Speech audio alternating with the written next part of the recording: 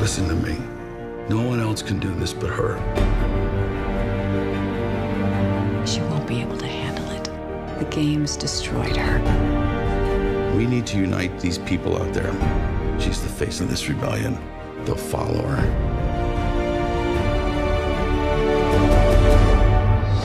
Any association with the Mockingjay symbol is forbidden.